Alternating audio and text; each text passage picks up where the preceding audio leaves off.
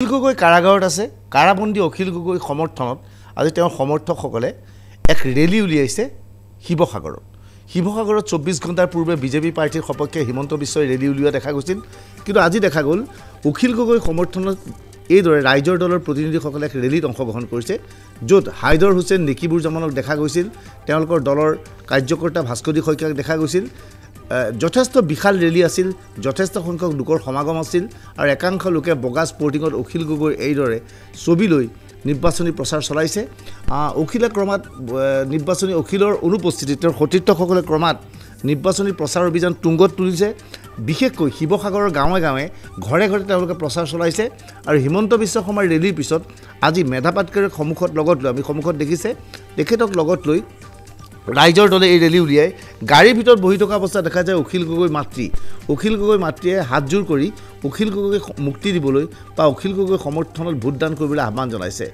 এই ৰেলী যথেষ্ট তাৎপৰ্যপূৰ্ণ আছিল আৰু যথেষ্ট সফল হৈছিল এইখন ৰেলী।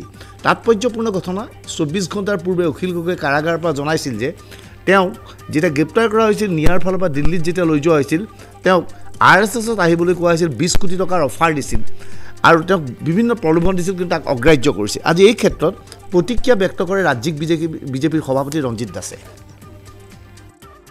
ডাঙৰ যদি বিজেপিয়ে যদি ইমান ডাঙৰ যদি অপৰাধ কৰিছে সেইটো যিমান অপৰাধ তাতকৈ মহা অপৰাধ তেওঁ কৰিছে। কাৰণ কিয় তেখেতে কিয় কোৱা নাই? ইমান দিন তেওঁ কিয় কোৱা নাই?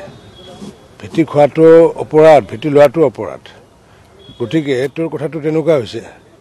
ভেটি খোৱা আৰু ভেটি লোৱা যেনেকুৱা অপৰাধ তেখেতৰ কথা তেনেকুৱা হৈছে। ইমান দিনে এইটো কথাটো তেওঁ লগে লগে এফ আই আৰ লছ কৰিব লাগিছিলে। গতিকে সেইটোতো ৰাইজক অন্ধকাৰত ৰাখিছে। ৰাইজক এইবাৰ অসমৰ ৰাইজক ব্লেকমেইল কৰিব বিচাৰিছে।